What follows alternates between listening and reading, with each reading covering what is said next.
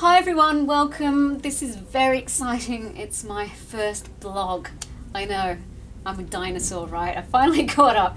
So check in. We're going to have daily updates from this North American tour at kylie.com forward slash blog.